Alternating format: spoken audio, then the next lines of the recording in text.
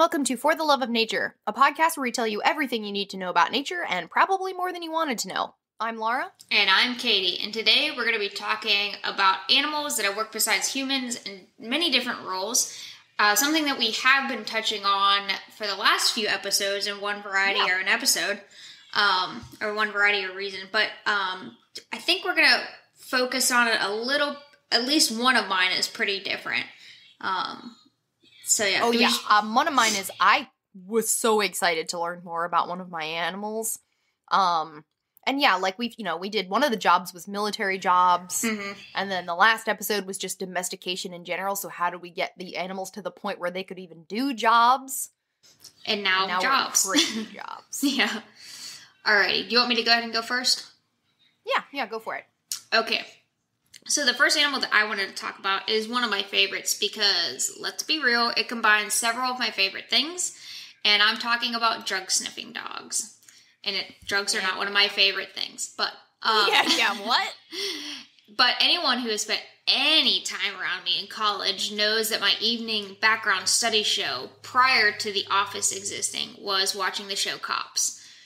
Religiously after 6 p.m., just Yep. after dinner, I could be found in my dorm room on my futon watching Cops. So that's just what I did every day. Every day was my study background. Again, pr- this is prior to The Office being released.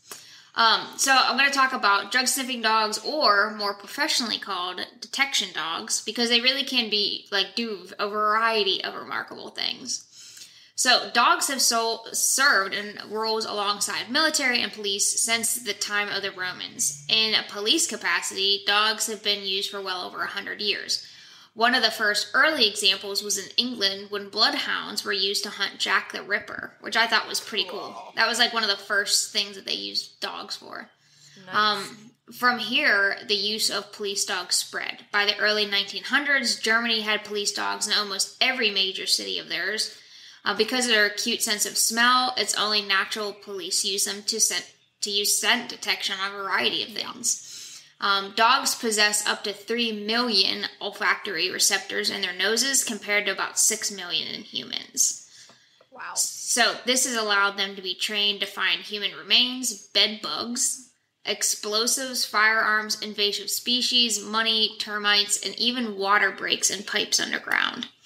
I almost covered. uh I was thought about doing diseases. Oh, yeah, yeah, because dogs have been known to for. Yeah. cancer, all kinds of things. Yeah. Um, so by the 1970s here in the US, police dogs became a regular sight around the country. So, what sort of training do these dogs go through? First, dogs go through obedience training, and that's where most, if the dogs are going to flunk out, they do so here. Um, because not all dogs are cut out to be police dogs. Um, from here, they will undergo some agility and endurance training, because after all, just like their police hand- handlers, the dogs also need to be physically fit. Finally, if they've made it through all this, they go into specialty training. In regards to detection dogs, they won't be trained to detect everything, of course. Um, that would just be way too much. So they'll be trained to know a variety of things pertaining to their job. So if it's a patrol dog with, with police, typically it will be drugs and finding people and a few other things. Um, and then if you think about like the variety of dog breeds, they've been used by humans historically for hunting based on what they were bred for. So beagles, for instance, are small. Um, same thing like in jobs, beagles, because of their small size and spectacular nose, typically end up as bomb or drug sniffing dogs in airports because they can meander throughout crowds and jump over luggage easily on luggage belts. So this wouldn't exclude, of course, larger dogs um, from serving in its role, but it's just a more a matter of the right tool for the right job. So let's talk about some of these drug detection dogs and their successes, because that's really why I wanted to talk about this. Um, in 2019, after a U.S. Border Patrol saw an anomaly in a sem- semi truck and an x ray, they searched the vehicle but couldn't f- figure out what the anomaly was. A dog was brought in and found the area to a secret compartment, which led Border Patrol agents to find 254 pounds of fentanyl and Oh. 395 pounds of meth. Um, this has a street value around 3.5 million for the fentanyl, 1.1 million in meth, and that's not all that unusual. I mean, the amount is yes, but it's the dog's job to find that. One one dog in Colombia has gotten so good at her job that the cartels in Colombia have actually put a hit out on the dog. Holy cow! Sombra is a six-year-old German Shepherd, um, which has helped Colombia's police department tech detect, starting out, more than 4,400 pounds of cocaine hidden in suitcases, boats, and large shipments of fruit. And that's just cocaine. The cartel then offered a reward of seven grand to whoever kills and cap- kills or captures Sombra. Sombra in Spanish means shadow, by the way. Oh, Um, cool. So the threat by the cartel prompted officials to relocate Sombra from a port in Colombia's Caribbean coast to the capital city, where she sniffed, started to sniff through cargo at um, the El Dorado International Airport. So after her six-hour shift is over, Sombra is transported in a van with tinted windows back to her can- kennel. Um, and when Good, she poor thing. That well- was horrible. when she is transported, she's also accompanied by two armed gu- guards. Some of Sombra's recent busts include uncovering over five tons of the co- cartel's car- cocaine destined for Europe and concealed in crates of bananas. So, of all things, those good bananas. Um, officers also credit her incredible nose with more than 245 drug related arrests in two of Colombia's biggest international airports. So, work, from working here at the airport, the cartel learned of her new location to where Sombra was again moved to a new location where she sniffed thousands of pounds, thousands of more pounds of cocaine, hidden in boxes full of sneakers and wooden necklaces. She detected 140 plus pounds of cocaine placed deep inside an, industrial machine. So, needless to say, Sombra is really damn good at her job. Um, and I really should have focused on Sombra for my Badass Women episode because that would have been way funnier. Um, so now, because uh, they are still dogs and dogs make mistakes, there have been a lot of debate recently on whether to continue to le- utilize drug detection or drug sniffing dogs or not. Oftentimes, when a dog alerts on like a vehicle, let's say, um, several studies are showing that about half of the time the dog alerted on a vehicle, nothing inside was found.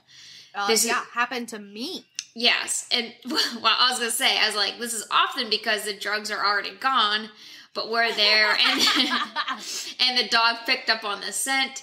So while there is still debate around it, for now, drug detection dogs will be utilized. But it can, ha- I mean, it does happen more often than not. I mean, and it can be a, again, it's people they make mistakes. I mean, imagine Well, and I mean, I think like for a vehicle, what I always figured when we got uh, it, we got pulled over one night and harassed and all kinds of stuff, but the dog was going around the vehicle and alerted like near a wheel a wheel well, and we just come from the airport. Like, who knows? yeah, what what was there? Yeah. Uh, Like, who knows what splashes on a vehicle? Like, how the scent is attached to a vehicle. Well, and also some of the debate too is because a, they're saying a lot of the times the dog is looking at the owner's body language and everything, and if the if the the handler shows any bias whatsoever, the dog is like, oh well, if I because they know as soon as they detect something, you know, they're rewarded, and so the dogs kind of pick up on, okay, well, if That's I smart. yeah, if I you know detect if I show something, boom, I'm gonna get rewarded, kind of thing. Um, so there's a lot of debate around it, but I mean, I, I was trying to find like some statistics on like police dogs, but I couldn't find anything that was like concrete because there's just so many detection dogs out there serving so many different uses for so many Yeah. different things and so many different departments. It would just be nearly impossible to like pull together all those stats of like how much they have found. I mean, again, like Sombra, like there's individual, you know, their uses and everything, but I also found that it was interesting that it's only really like here is only dogs have only been routinely extensively used since the 70s. Yeah, but was that when the war on drugs was declared? Uh I think it was was it was it then? I don't know. I don't know. Before my time. But but yeah, I mean I I just thought that that was kind of late. But like I said, I mean uh bomb sniffing drugs, dog like drug sniffing Palm dogs. sniffing drugs. Bomb sniffing dogs. I want Um, those. Yeah, right. Um, and like Laura said too, like with the whole uh, like dogs that sense, uh, like Cancer. Cancer. Like, cancer. and- yeah, and uh, epilepsy and blood sugar and all kinds of things, all because of their sense of smell. Yeah. Um, so I just briefly talked about this one, but yeah, they're used for a variety of things. Cool. Well, actually, as almost always goes with us, yours leads directly into mine. Um, because I'm going to be focusing on mine detection rats, um, which use scent detection. Yep. So I heard about these rats years ago, and uh, I couldn't wait to find out more, and I was uh, not disappointed. so these I, in my own head, just refer to as the landmine rats. Um, they are a species of African giant pouched rat. Um, which real quick, they are because you know everybody knows about a dog. I figure Yes. everybody knows about No. no. No, that's why I didn't do much natural history on dogs, No, and we just did the domestication issue, so I wasn't gonna go into all that too. Yeah. Um, they're found in most of sub-Saharan Africa. They're omnivores, mostly nocturnal, and just picture a giant rat. It's 2.2 to 2.8 pounds, It's a little Um, excessive. which a big rat. It's like a small cat, like a like a kitten. Yeah. Um, and uh, they're like buff colored with paler a paler belly. They've got big cheek pouches for transporting food and nesting materials. Um, and they have an incredible sense of smell and are highly intelligent, which makes them perfect for the job of mine detection. Mine as in M I N E, not mind. Here's how it all shakes out. In 1995, Bart Weetjens from Belgium wondered if you could use rats to detect landmines. For a second, but also for a second, I thought you were gonna say because I jumped right into the dogs and their names, and I thought you were gonna say a mouse named Bart, and I was like, I need a rat named Bart now because that's an amazing name for a rat. But continue. Yeah, yeah. Bart. Um, we, uh, so uh, although also like what a crazy like, hmm, wonder if they can detect landmines. But apparently he was trying to um help the global landmine problem, which most of us here in America do not think about, but is a huge It issue is, around the yeah. world. Um, there are thousands of landmines and undetonated explosives that have been put in the ground all over the world during wartime. Um, and he'd heard that you could use gerbils as scent detectors. Goes back to our last Yeah. episode with you talking about gerbil domestication. Yeah. Um, and he had a pet rat, so he was like, huh, I wonder if rats can do it. So that was in 95. In 97, they decided um on to use these African giant pouched rats as they can live up to 8 years, so they live long enough that it's worth the training. Um whereas, you know, like normal pet rats are like 3 to 4 years. Yeah. Um, and they already live in Africa, so perfect because that's where a lot of this work Yes. is going to get started. um, and then in '97, uh, APOPO, Apopo, the Apopo project was launched. Um, and that's this whole organization. So if anybody wants to know anything more about these amazing rats, Apopo. Um, so training lasts several years.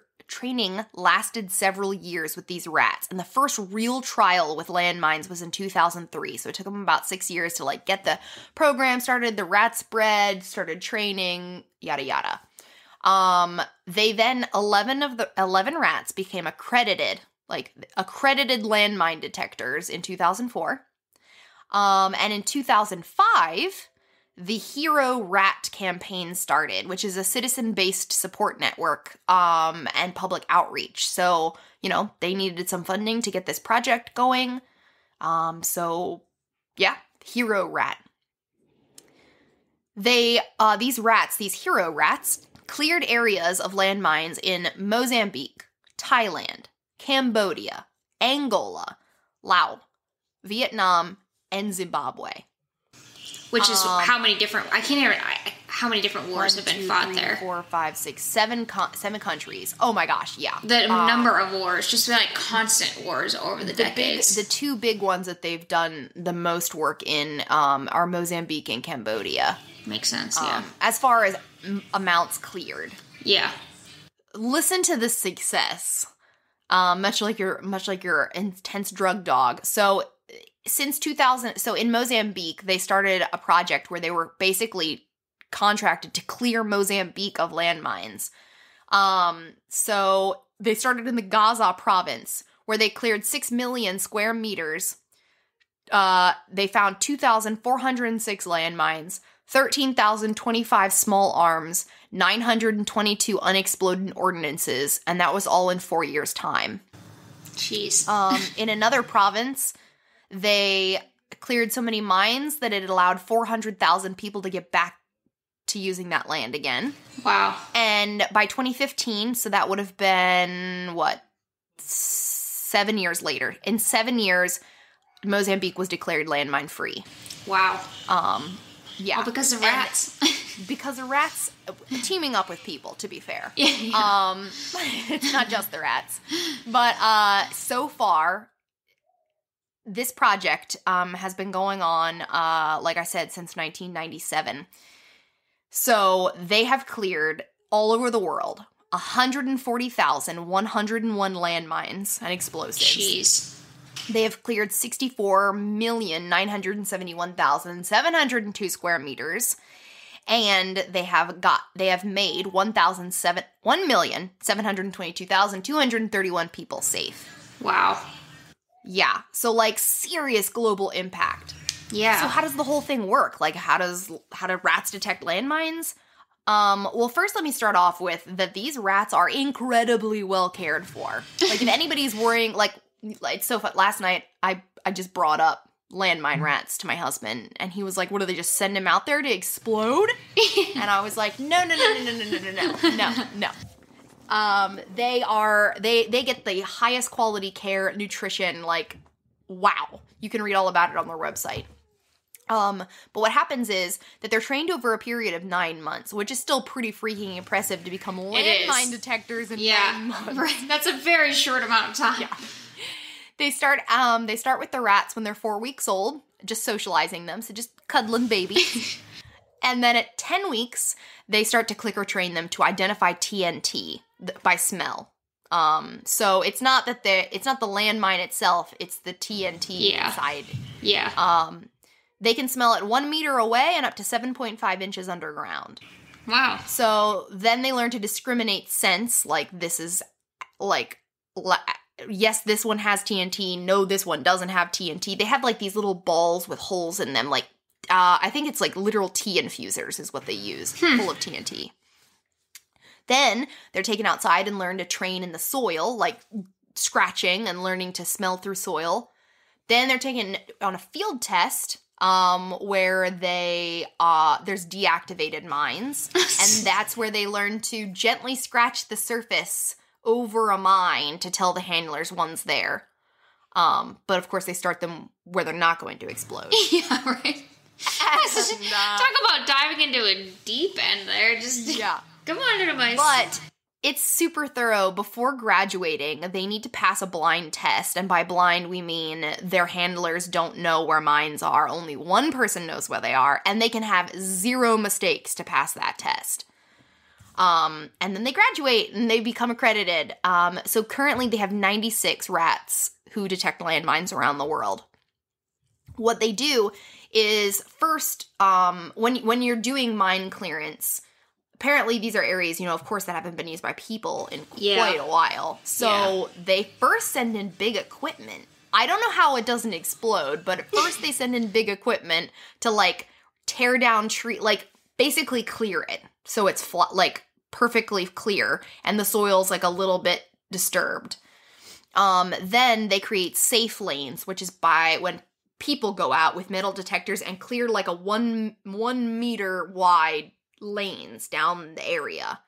Then they take the rats out and they send them back and forth and back and forth and back and forth between these lanes. And the rats are on a tiny little harness and there's lead ropes between two handlers. So the rats follow the lead. So it's a very like systematic. Um, they can clear a rat can clear an area the size of a tennis court in 30 minutes, which would take a human with a metal detector four days to be Jeez. thorough. What? Four days with a metal. I feel like that's very slow metal like detecting. Excessive, yeah, but um, I I and uh, so then once the rat detects a mine, then the human will go out there confirm by digging it up, and then they detonate it, and so it's just constant explosions, I guess, all day long. Um, and yeah, so these little rats are are th- they are not just trained to like just like scent dog scent detection dogs. These rats, some of them are used for mine clearance, while other ones have been trained to sniff out tuberculosis, which is the other giant part of this project, um, which is saving thousands and thousands of lives. They can also sniff out pangolins, um, Huh. to, to root out like illegal wildlife. trade Yeah.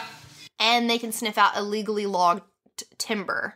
Um, so much like dogs, these little rats, uh, their sense sense of smell is incredible, and they are doing world changing work.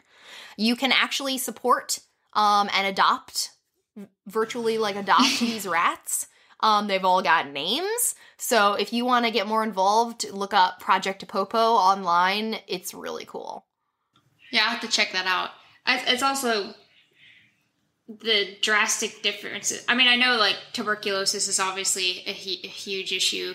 I mean, in Africa especially, but just like the jump from like landmines, tuberculosis. You know what I mean? Like it's That's very the two. Uh, the other two, like the pangolin and the illegal timber, I think they just like know that they can do it, but it's not Yeah. like a big project. yeah. To the tuberculosis project is really big, but they use a completely separate set of rats for that. Yeah, job. yeah, yeah, yeah. It's just from an organizational standpoint. That's like yeah, quite a yeah, quite a really leap. weird and interesting. Well, the second animal that I'm going to talk about um, is a little bit more unusual and unexpected than my first one. And I'm going to be quite honest, the only reason why I picked it was to share one particular story about this. But I'm going to talk about um, seeing and emotional support monkeys. Yes. Only to talk about this one hilarious story. All right. I just really wanted to do this. So I wanted to train one so badly in high school. Like I wanted that to be my senior. We had to do senior projects, and I was like, I want that to be my senior project. Can you imagine? then I looked up more into it because it was through Helping Hands. Yep. and you had to be a, like you couldn't have a job or be a student like you had to be Yes. full time at home with this monkey Yeah. Yeah. and i knew that was never gonna fly Yeah, no. So for as long as people have known that monkeys are around, pretty much they've kept them as pets. Why? Don't know. Um, because yeah if you guys have ever care of a monkey you would quickly change your mind right, um, most that pop- when i was naive that was when I was naive. Um, most popular species are capuchin, macaques, marmosets, etc. So, while the legitimacy of having monkeys versus other helping animals is strongly debated, there are some advantages. For instance, there is a company, the one that Laura was talking about in Boston, Massachusetts, which trains capuchins as quote unquote helping hands, which is also the name, the nonprofit name.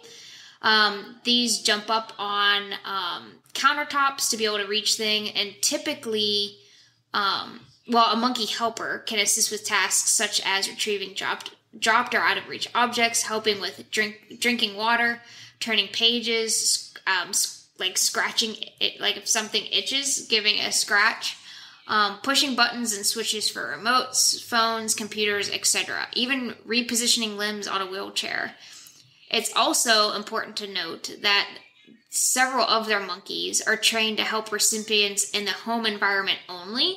And so they're not allowed in public places just because, like, well, one, you're not allowed to bring monkeys into public places anyway. yeah Um, rightly so so they do particularly send these helping hand monkeys to individuals it's a very strict like criteria just as strict Oh, as sure. yeah just as strict as it is for the criteria of who is training them it's who is going to get them as well most are actually spinal cord injury um, patients because that makes sense like quadriplegic when you really need help Yeah, with like these fine motor that like a dog just couldn't do a lot of these tasks.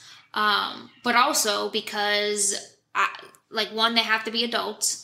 Um, since having a monkey is very much like having a small child, um, they need to be mature and stable enough to provide the right environment and structure.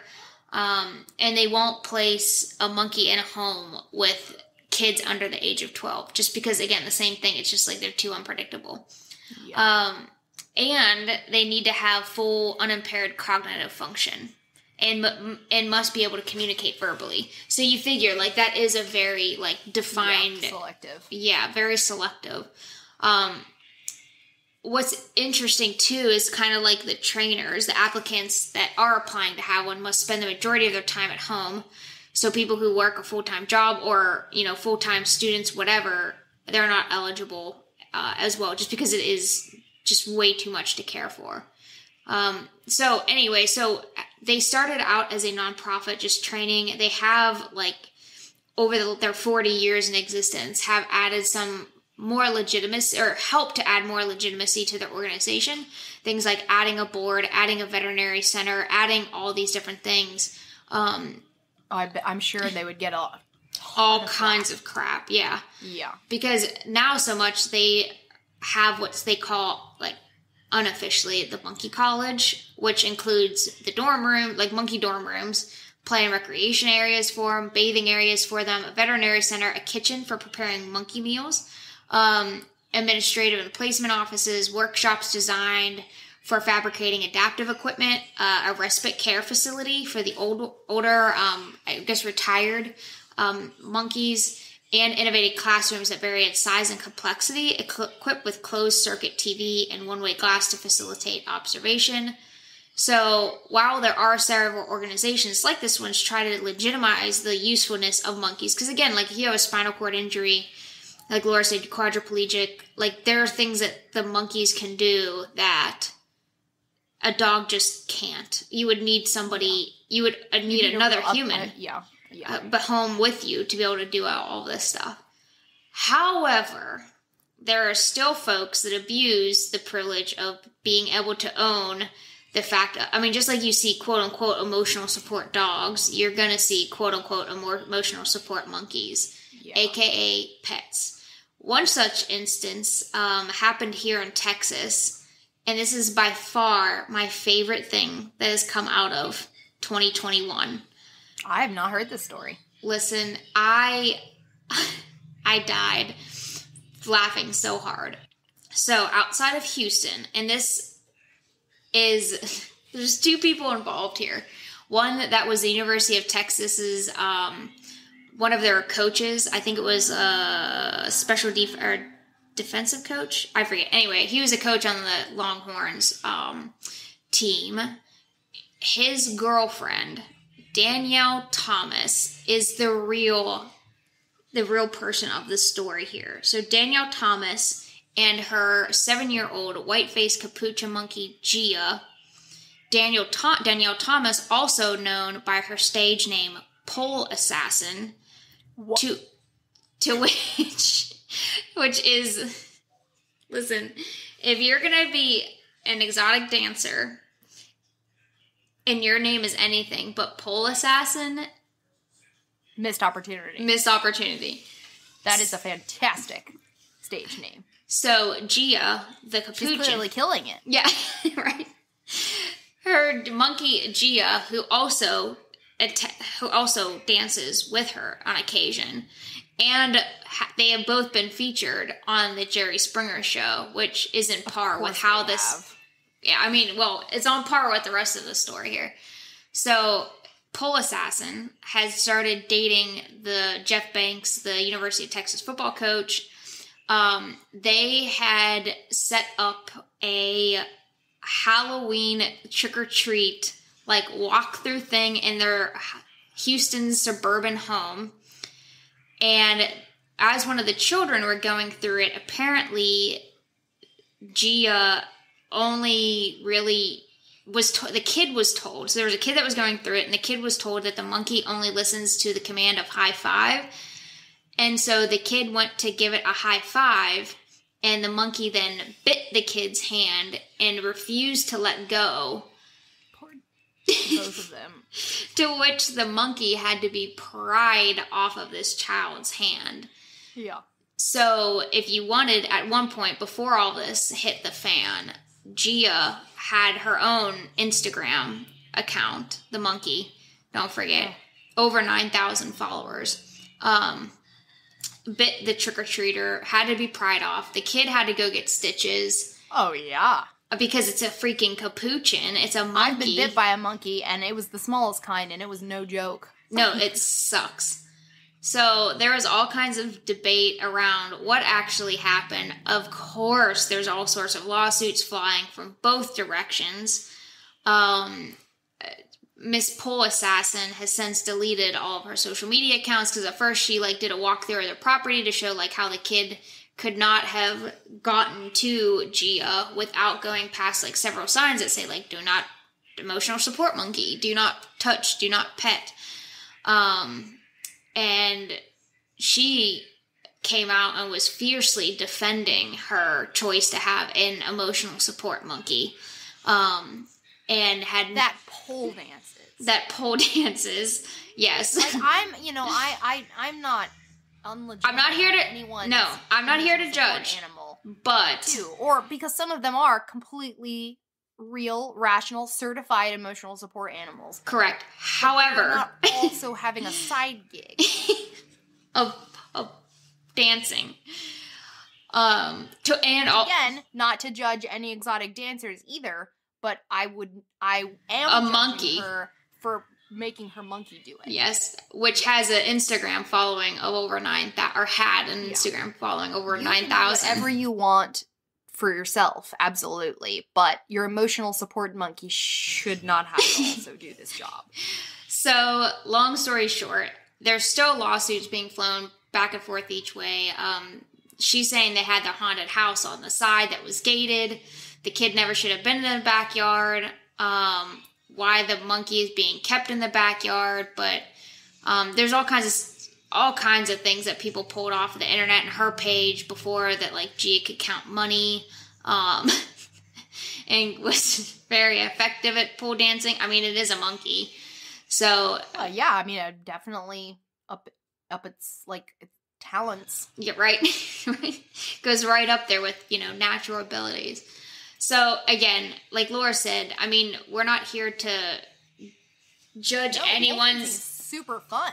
yeah, no, it, You- really, yes, that's yeah. what- so we were like, fun. we were all like, uh, um, but it is, it is the emotional support side of it, though. It's like in instances like this that take away from people who genuinely could have the emotional support of a dog or helping hands, like could utilize a capuchin, a monkey, to help. But it's instances like this that then kind of cast a shadow on everything, and then people are like, well, can't have them because they're too dangerous. Well, no, only ones that are, you know, pole Not dancing really trained. and not really tr- properly trained and you know behind w- a haunted house a makeshift haunted house um there's just so many so many Only in Texas. things only so many things wrong or there Florida. Or uh, Yeah. yeah, that was almost a Florida story. yeah yeah right Come on, Florida people, you know what we're talking about. so anyway so yeah so there are a lot of good uses for monkeys when used and handled and trained properly it just oftentimes more than not they are not used properly well, just like uh, primates are controversial to have doing jobs, my next animal is controversial. Yay! uh, uh, mine are timber elephants. Oh, okay, yeah. Um, I asked Justin what I, I had a couple other jobs, and I was like, "What do you think sounds most interesting?" And he chose this one. So, um, timber elephants or logging elephants, um, are are Asian ele- like that's the job. Asian elephants are used for the job. Um, so I mean, most ever all my listeners, I certainly hope you know what an elephant looks like. Um, but uh, an Asian elephant in particular is the smaller kind. Um, they're six and a half to eleven and a half feet tall, around eleven thousand pounds. Live in forests and grasslands of South and Southeast Asia. Um, and only the males have tusks. The little females have tushes, which are just tiny little teeny ones coming out. And they're an endangered species. So, what job did they perform? They help with logging.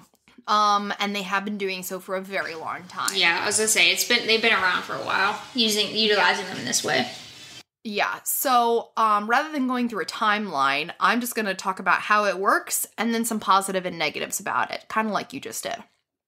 Um, so how the whole thing works, elephants are trained over a period of years. And um, as far as the information I'm going to give you, this is almost all related to logging elephants in Myanmar because they have the Yeah. largest population of cal- captive elephants in the world. Um, other countries do it too, but Myanmar is like found the most information about. Um, so they're trained over a period of years. They started around age four. Before then, they're known as calves at heel. So just little calves. They're allowed to follow their moms around, and they're not, you know, they don't do any work, but they can watch the whole process and everything. Well, at age four, um, then they are uh they they start their training where they will learn various commands um but when they're between the ages of like five like hmm yeah they start they they start to learn some commands when they're that little but not a ton. It's mostly just like working with them a little bit.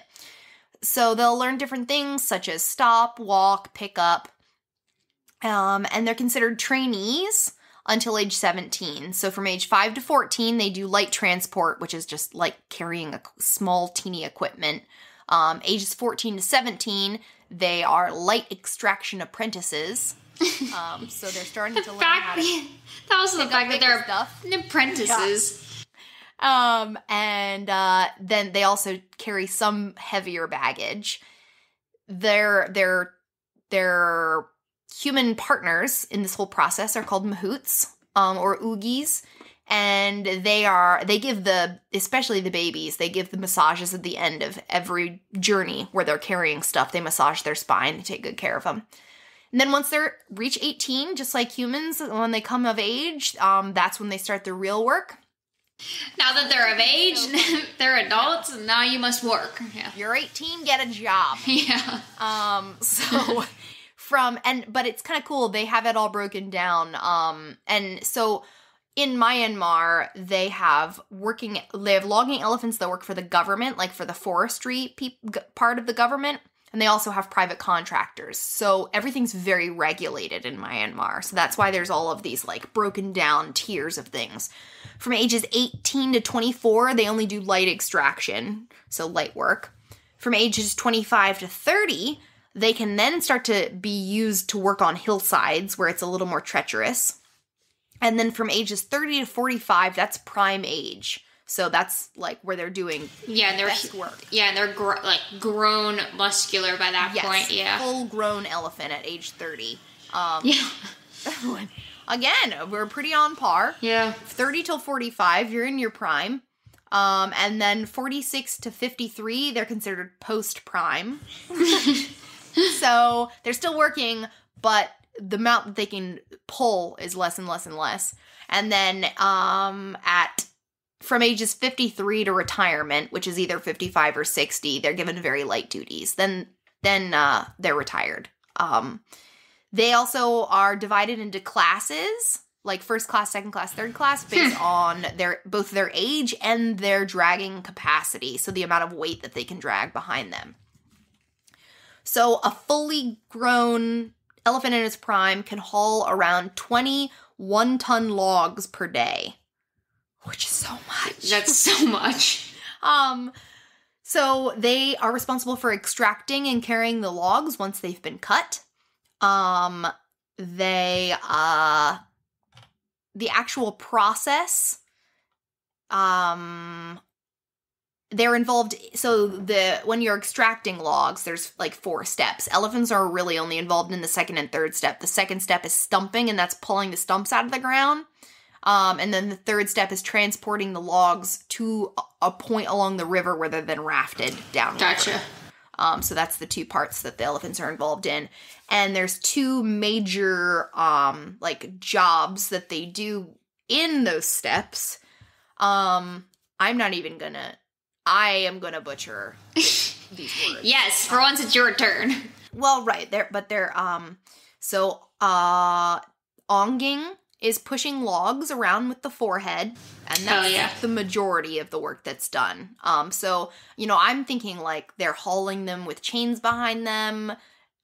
I mean, somewhat, but a lot of it they're just like pushing it with their head. And then uh the other what the other the other part of the job is you liking, um, which is clearing jam logs from the river or or pulling logs from riverbanks where it's so muddy that no equipment would be able to get there.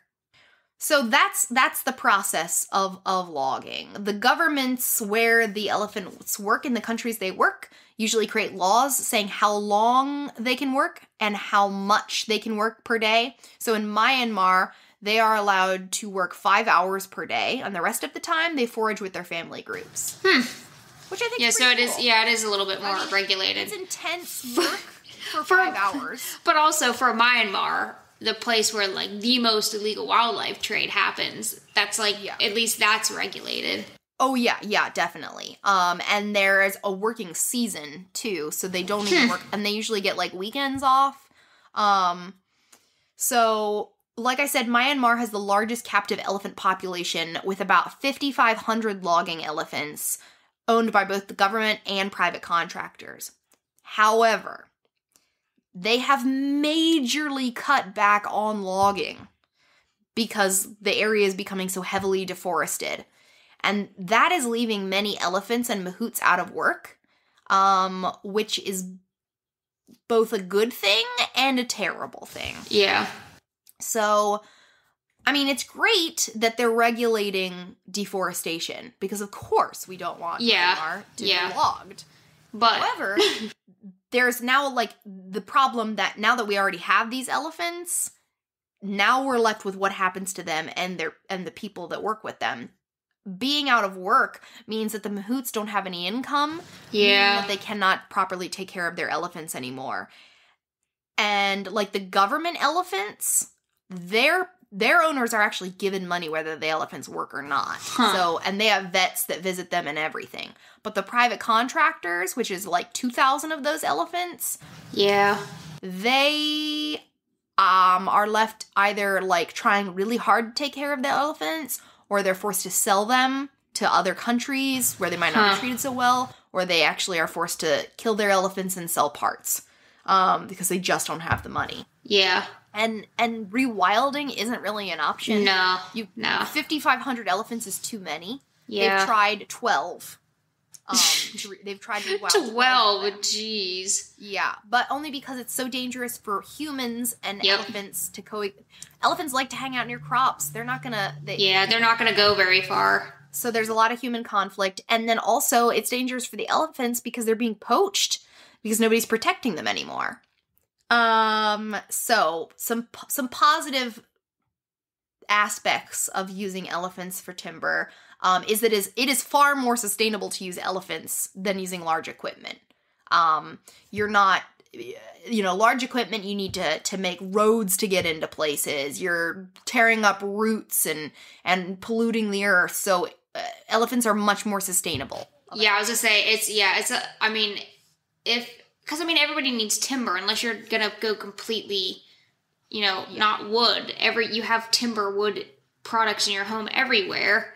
yeah Um, but yeah, so elephants is a little bit more of a sustainable way to go about it than Yeah. diesel burning and, and they can actually at least in myanmar they were doing a system where they were allowing things to regrow for 30 years before they come Oh, wow. back and the elephants can do that because they can navigate those spaces Huh. um some countries have limits like i said on how much they're allowed to work in a day and in a week they are given vet care and they actually moms have maternity leave for a year that's nice. We, better we don't even get that. developed yeah, yeah, yeah We don't even get that. Jeez. So, uh, and it creates a ton of jobs. Myanmar, I think I was reading about 50% of people rely on the forest, like Wow. timber harvesting. So I, it's a lot. But of course, there are some negatives, and that's where it gets we get controversial with using elephants for any kind of job. Um, because although this is so well regulated, and I am really impressed with how regulated it all is, at least in Myanmar, in other countries it is not. In Yeah. Thailand, it is particularly rough for elephants, from what I was reading. Um, and even in Myanmar, conditions can be very harsh and very stressful. 25% of elephants do not live past age six. Jeez. And if you remember, they start training at age five or at age Yeah. four. So the stress of of training can be a lot. Um, in many cases, if you think about it, it's pretty messed up that elephants are contributing to their own species decline because they are deforesting the places Yeah, where their wild that- ans- where their wild yeah, live. Yeah. Ugh. so it's like burning down their own world. Um, they are cheaper, but they are not as they are che- they are cheaper. the cheaper they're, they're the cheaper option for logging, but they are not as economical as elephants cannot be rushed. Um, oh my gosh. Yeah. No. reason. Um, and they have to supplement captive populations by continuing to capture wild elephants. Ugh. Yeah. Which there's an So- issue there too. So there is definitely some ethical issues here. Um, am I completely against elephants and working humans working together for jobs? No. I think it's a great idea. I think we've been working with elephants just like we've worked with, you know, our other domestic species for thousands of years. But I do think that we need to be very strategic um in how And smart. do it. Yeah. Yeah Yeah. especially because um as anyone who's familiar with elephants knows they're incredibly intelligent animals um which Too intelligent. yeah which uh, complicates matters and also gives added responsibility to the people that work with them Yeah. um if you want to learn more about this i actually stumbled across a thesis written by somebody it's 156 Huh. pages i didn't read it all but if you really want to know a lot about timber elephants um it's called the the demo, the demography demography how would you say that word Demography. demography Yeah. Oh, just it sounds weird. Um, the demography and life history strategies of timber elephants in Myanmar, um, by Khyne U Mar. Um, so lots of information if you want to learn more. But that's kind of how uh, elephants are used to for timber, the timber industry. Huh. Yeah, I think again, uh, most of the negative gets out. Of, It would be interested though, interesting though to see like, okay, it seems on from the outside that it is very regulated, but being on the inside, is it as regulated as it appears? Would be interesting to see. You know, if there's if there is a disconnect from it. Hmm. Yeah, for sure. And, you know, like, of course, and right, you're never going to know much until you're on the inside. But of course, these elephants, too, they work with one person. They're Yeah. one person. Yeah. They become very close with that one person. Um, and like, just like people, some people mistreat cows and other people love cows. It's the same with Yeah. elephants. So, Yeah. some mahouts, it's going to be their family. Yeah. And then other ones, Others not so much. Yeah. Alrighty, guys. Well, that's how a variety of animals um, have worked alongside humans and served a variety of purposes, whether it's legitimate or not so legitimate. Um, but yeah, this would be an- another episode, another cool topic to do because there's, I mean, there's tons of stuff to talk Oh about gosh, for this there's one so too. many animal jobs to choose from. Yeah. and so many like interest, so many really weird ones, and then so many Mhm. ones that we see actually all the time and never really think about. Yeah, don't think about it. Yeah. All right, guys. Well, that's it for today, and we will talk to you next week. Make sure to check us out on Patreon and our social media. We'll talk to you next week. Tune in next week.